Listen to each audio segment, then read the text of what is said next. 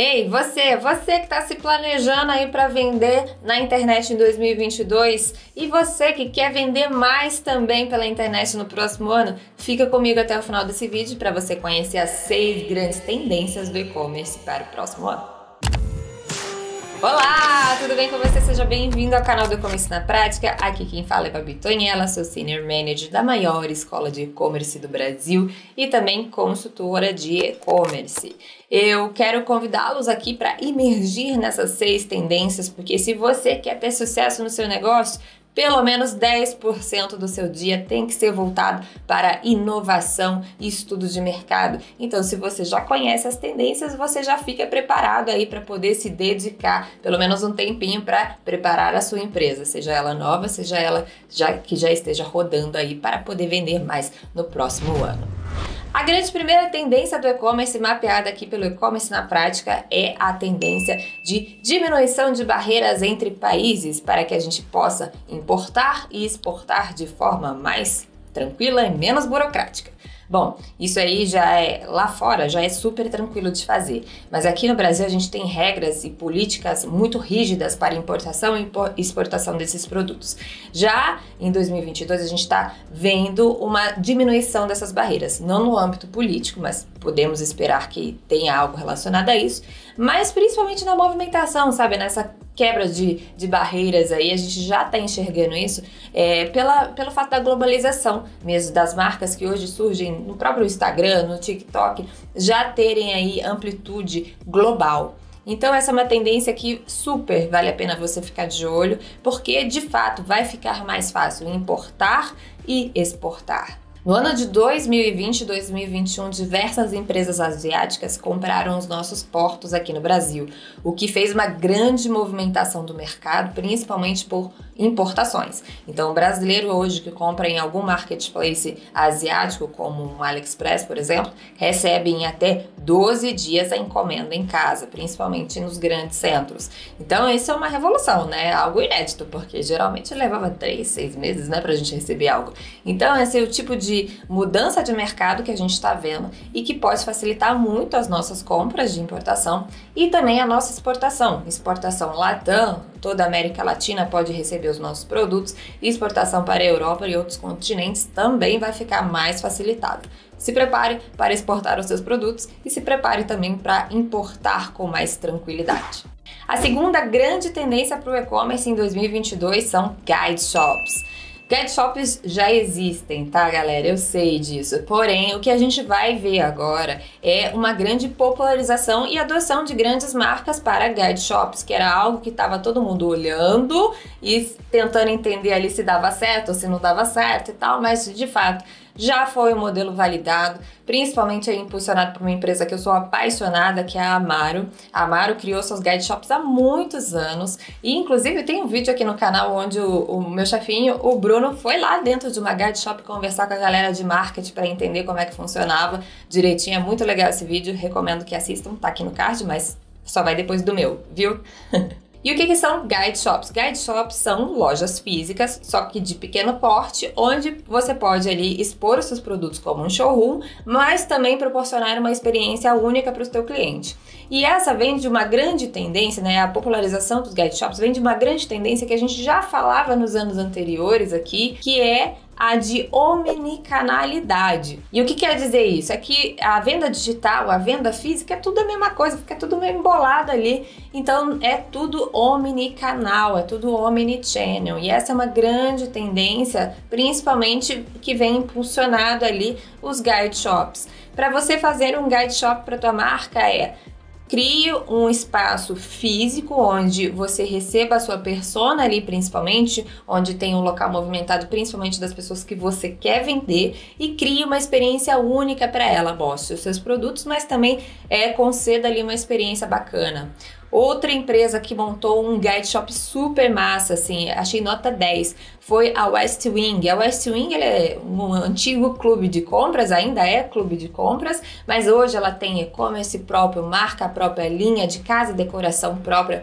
Então a gente que acompanha essa marca há muito tempo, como eu, assim, ficava olhando aqueles produtos da linha própria deles, por exemplo, mas nunca tinha tocado, nunca tinha visto em nenhum lugar, a não ser naquele momento que você compra e recebe o produto em casa. Então eles abriram guide shops também em São Paulo, Rio de Janeiro, provavelmente vão expandir pelo Brasil, porque a loja é maravilhosa de linda e é, consegue te proporcionar a experienciar os produtos dele. Então, tem um sofá específico, tem aquele móvel específico, aquela decoração específica para você experimentar, mas a venda não é feita ali. Você tem que comprar online para receber em casa da mesma forma que funciona o Guide Shop da Amaro, onde você experimenta a roupa, onde você avalia o tecido, o caimento daquilo, mas não pode sair com essa colinha dali. Você vai fazer o pedido no computador da loja ou no seu smartphone e vai receber em casa, às vezes do mesmo dia ou até 48 horas, dependendo da sua região.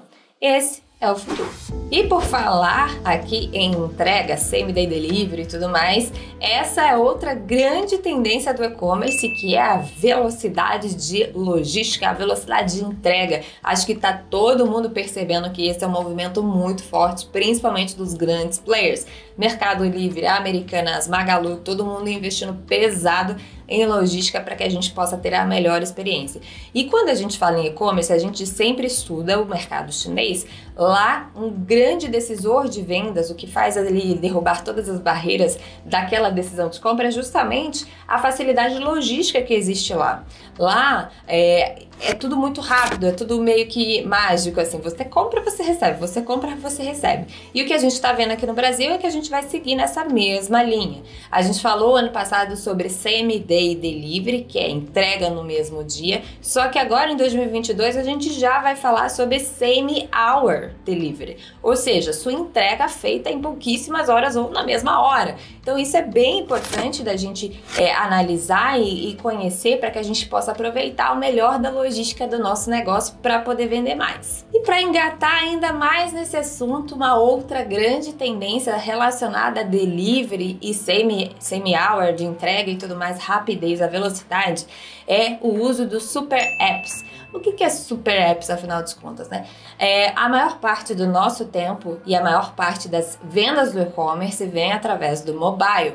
No entanto, uma grande tendência mapeada nos anos anteriores era que a gente se tornaria mobile first. E essa tendência foi concretizada. Hoje, mais de 50% das transações monetárias online são feitas através do celular. Então, a gente pode é, também colocar aqui o uso dos super apps como uma grande tendência para 2022. Super apps são aplicativos que juntam diversos serviços e funcionalidades dentro do mesmo app. Um grande exemplo e uma empresa que eu gosto muito, é a RAP.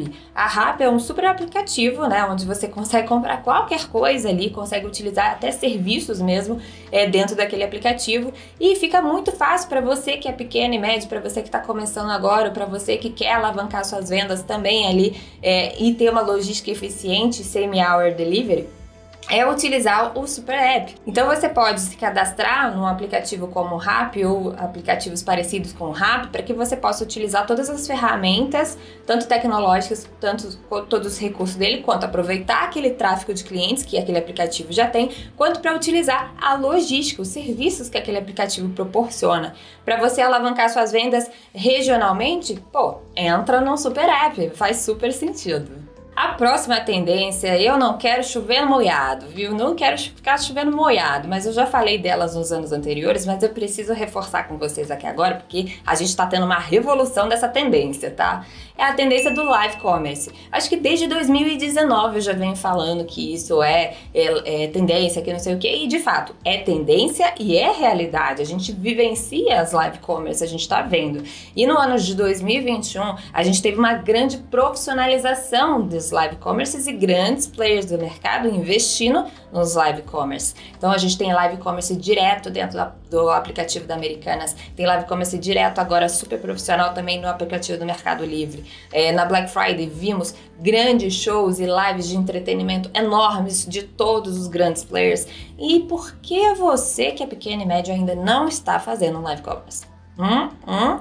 Se você acompanha a gente aqui do E-Commerce você sabe que direto e reto aqui a gente faz live commerce para poder vender os nossos treinamentos, cursos e formações.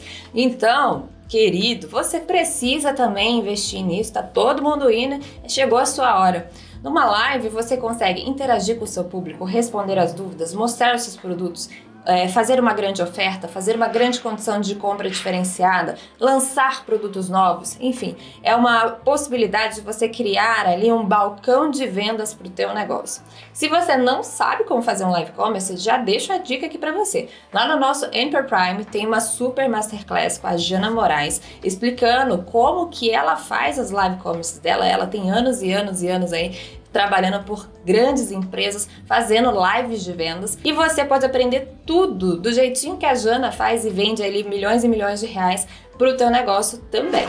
E aproveitando que a gente está falando aqui de interação, de interação numa live e tal, tudo bem? Agora a gente vai falar de interação mesmo, é, que vai poder revolucionar o modo como a gente utiliza a internet, como se interage ali com as pessoas e também como que a gente vende, que é realidade virtual, realidade aumentada, 3D e metaverso.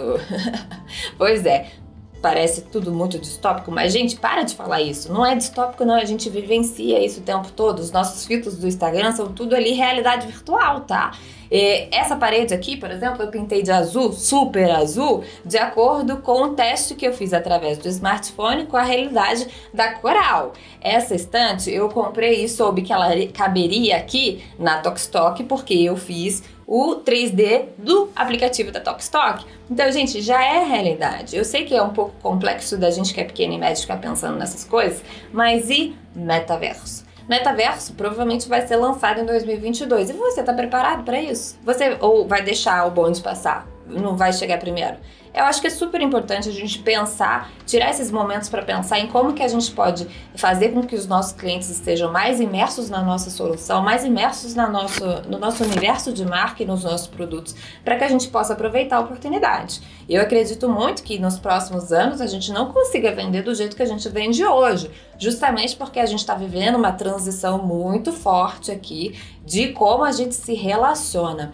Uma coisa muito interessante que eu estava estudando sobre o metaverso é que hoje, por exemplo, é um, um, paralelo tá, com as redes sociais. A gente posta alguma coisa, a gente posta no nosso Instagram da marca e é, é nós para milhares de pessoas, para 100 pessoas, para 10 mil pessoas, para 100 mil pessoas. E poucas interagem. Já no metaverso vai ser bem diferente. Eu posso ser 10 babis e dar aula para 100 pessoas. Cada, de, cada babi pode dar aula para 100 pessoas simultaneamente. Então, é o momento da gente poder interagir um a um e é um momento que pode reforçar muito o nosso poder de venda, de barganha e principalmente imergir aquele consumidor no universo que a gente cria. Eu falei mais sobre metaverso sobre esse, esse grande lançamento aí que pode acontecer no ano de 2022. Eu acredito que pode acontecer muito breve, porque os investidores estão muito felizes com isso daí. Eu também estou muito empolgada, estou doida para participar e criaram o e-commerce na prática lá dentro do metaverso. Já falei com a galera aqui do NP para a gente já poder pensar em como que vai ser a nossa escola lá dentro.